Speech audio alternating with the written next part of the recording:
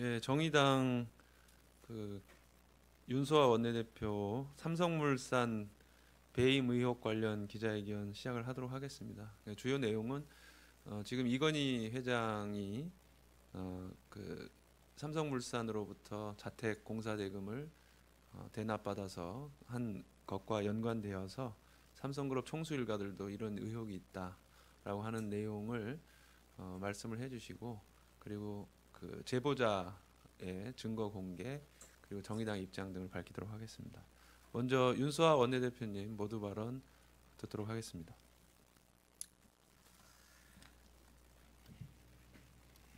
아, 네, 정의당의 윤수아입니다. 아, 삼성 이건희 회장은 지난 2009년부터 2014년까지 일가주택공사 비용 33억 원을 삼성물산 자금으로 대납한 혐의, 특가법상 횡령 등을 받고 있습니다.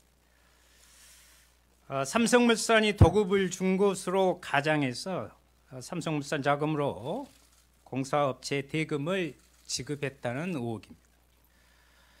검찰은 건강상의 이유로 이 회장을 기소중지 처분하고 횡령 혐의에 가담한 삼성물산 임원 B 씨와 아, 임원 두 명과 직원 한 명을 재판에 넘긴 상태입니다.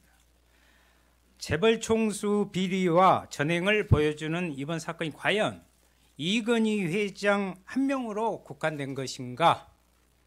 오늘 기자회견은 재벌 총수 일가가 자택을 수리하면서 그 비용을 기업을 통해 대납하는 것이 일상화되어 있음을 공개하는 기자회견입니다. 이부진 호텔 신라 사장의 자택 공사 대금 역시 삼성물산이 공사 대금을 대납했다는 의혹에 대해 당으로 제보가 들어왔고 오늘 제보자가 관련 내용을 공개할 것입니다.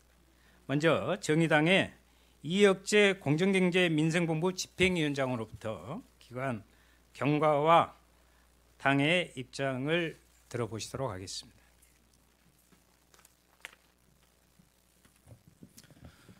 예, 안녕하십니까. 정의당 공정경제민생본부 집행위원장 이혁재입니다. 반갑습니다. 2018년 12월 주식회사 트리스톤 엔지니어링 곽상훈 대표는 정의당 공정경제본부에 찾아와서 삼성물산의 서면 미비교부, 하도급 대금 미지급 등 불공정 하도급 거래 행위에 대해서 고발하였습니다.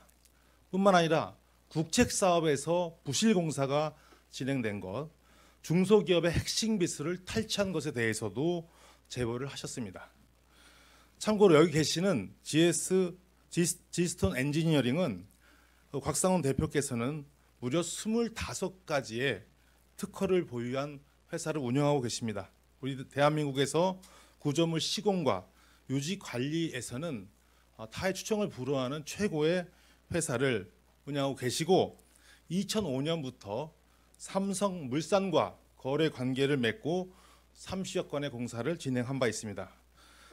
제보하신 내용 중 오늘 발표한 내용은 삼성그룹 이건희 회장 일가가 소유한 용산구 한남동 일원의 신중축 과정에서 삼성물산과 에버랜드의 자금이 사용되었다는 것입니다. 곽상훈 대표에 따르면 GS, G스톤 엔지니어링은 2005년부터 2012년까지 한남동 초공수일가 자택의 방수와 콘크리트 결합 문제를 해결하고 관련 공사에 재료 개발 실험에 동원되었습니다. 트리스톤 엔지니어링이 처리한 공사 비용 전액을 삼성 에버랜드와 삼성물산 또는 주식회사 개선을 통해서 정산 받았다고 합니다. 여기서 주식회사 개선은 작년에 문제가 되었던 이건희 회장 자택 리모델링 공사를 한 업체입니다. 곽상은 대표의 제보에 따르면 삼성물산과 에버랜드의 자금으로 공사가 이루어진 것은 이건희 회장의 자택뿐만 아니라 이재용 부회장, 이부진 사장의 자택에서도 동일한 수법으로 개축 및 증축 공사가 이루어졌습니다. 이에 정의당은 삼성 총수일가의 자택 공사에 대해 특정경제 가중처벌법 위반 혐의로 검찰에 고발할 예정입니다. 검찰이 이건희 자택 공사 관련해서 삼성물산 임원들에 대해 기소했던 만큼 이재용 부회장 이부진 사장의 자택 공사에 대해서도 엄정한 수사를 통해 삼성 초공수 일가의 불법 경영에 대해서 엄정한 법의 심판을 내려야 하겠습니다. 이상입니다. 제가 어, 소개해드려야겠네요. 예. 이어서 어, 이부진 사장 자택의 인테리어 공사를 어, 직접 진행한 지스톤 엔지니어링 곽상훈 대표가 삼성물산의 비행 관련 내용과 자료를 어, 공개해 드리도록 하겠습니다. 안녕하십니까 곽성훈입니다. 어, 이, 이 자료는 제가 삼성에 진행했던 공사를 요약해서 저- 적어놓은 겁니다. 어, 이 사진은 2006년도에 이부진 회장 자택 내 실내 연못 연장이 한 25m 됩니다. 그 방수 공사를 잘못한 것을 제가 가서 처리한 겁니다. 어, 잠깐만요. 이 보기는 저 아무것도 아닌 것 같이 보이지만 이건 특수강 강판 1.2cm짜리고요. 그 삼중 방탄유리고 그다음에 문은 전부 유압으로 작동되는 그런 특수한 문들입니다. 그리고 이 시공은 일본 기술자들이 상당 부분 참여했습니다. 이거는 이건희 회장 놀이터인 에버랜드 자동차 경기장 교량입니다. 어, 이 교량에서 이 세금 계산서 두 건, 그 다음에 아, 세금 계산서 두 건이 어, 삼성물산에서 저 정리가 됐습니다. 어, 이부진 회장 자택에 수영장을 신축을 했습니다. 지상 4층에 지하 2층입니다.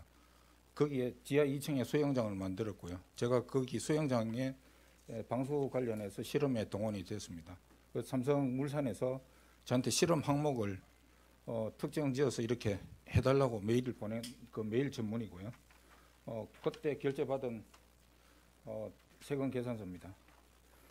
그리고 어, 어, 시험 항목입니다. 이 모든 항목이 특정돼서 전체 이게 한 3페이지 정도 됩니다. 예, 다음. 어, 이 시험에서 이렇게 그 르베이지라는 에버랜드 아 저기 리움 미술관 들어간 코너에 있는 빌딩 지하에서 이렇게 실험을 진행을 했습니다. 한 3개월간 했습니다. 예, 됐습니다. 그다음 아까 말씀드린 수영장 도면입니다. 이 도면의 검토자는 삼성물산 사장입니다.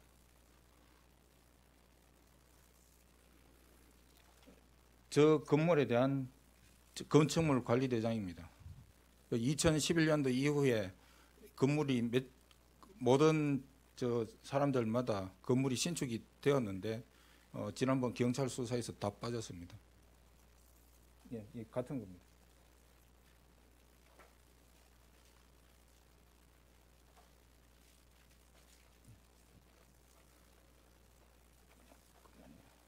이거는 이건희 회장 사랑채에 있는 저기 샤워실 방수공사 해달라 그래서 동원됐던 겁니다. 이거는 세금 계산 항목이 특이합니다. 보안공사로 되어 있습니다. 이 제목은 제가 정한 게 아니고 이렇게 해달라고 요청이 와서 적는 겁니다. 예, 보안공사로 했는데 이게 제 기억엔 이재용 회장 관련된 공사로 기억이 됩니다. 하도 여러 건이라서 제가 지금 뭐 찾으려면 시간이 걸려서 그냥 이 정도로 하겠습니다. 어, 그 다음 개선이 제가 거래업체로 국세청에 제 거래업체로 있는 자료입니다. 에, 이건 삼성물산 관련 자료고요. 어, 이- 이거는 제가 한 여덟 건 정도 공사비를 못 받았을 때 2012년도에 삼성 감사팀에 어, 하도 약이 올라서 저 문제 제기를 하니까 현장하고 알아서 하라고 회신을 받았던 그 답신 메일입니다. 어 그러고 이렇게 하게 된 계기는 어 말레이시아에 있는 KL118이라는 빌딩 공사하고 싱가포르 공사에 대한 기술 탈취권입니다. 그건 다음에 밝히겠습니다. 예, 윤서원 대표님 마무리 발언 있으시겠습니다. 네. 먼저 어, 오늘 기자회견에서 밝힌 우혹에 대해 삼성물산의 명확한 해명을 요구합니다. 또한 검찰은 이부진 사장과 함께 비슷한 시기에 자택 수리를 한 삼성재벌 총수 일가의 공사 대금의 출처를 분명히 확인하고 차명 계좌의 연관성과 함께 삼성물산의 배임, 배임 의혹에 대해 명명백백하게 밝힐 것을 촉구합니다. 마지막으로 삼성물산 합병 과정부터 이건희 회장의 자택 수리 그리고 오늘 공개된 이부진 사장의 자택 수립 대금 대납 의혹까지 계속해서 배임 의혹을 받고 있는 삼성물산에 대해 국민연금 아, 지분 5.7% 3대 주주입니다. 어, 스튜디시 코드를 발동해서 어, 연금 가입자인 국민의 이익이 훼손되지 않도록 할 것을 촉구합니다. 정의당은 검찰 고발과 함께 관련 상임위인 정무위원회와 보건복지위원회를 통해 삼성물산의 배임 의혹과 국민연금의 스튜어드십 코드 발동 관련해 지속적으로 문제 제기해 나갈 예정입니다. 이상입니다.